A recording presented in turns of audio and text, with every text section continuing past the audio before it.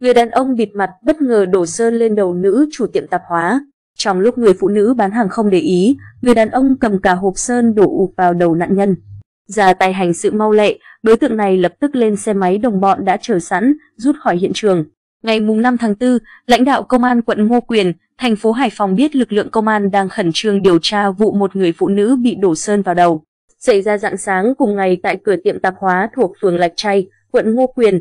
Trước đó, vào dạng sáng mùng 5 tháng 4, hai người đàn ông đều đeo khẩu trang, chở nhau bằng xe máy đến trước cửa tiệm tạp hóa ở phường Lạch Tray. Một người ngồi trên xe máy chờ, người còn lại vừa vào bên trong tiệm tạp hóa mua hàng.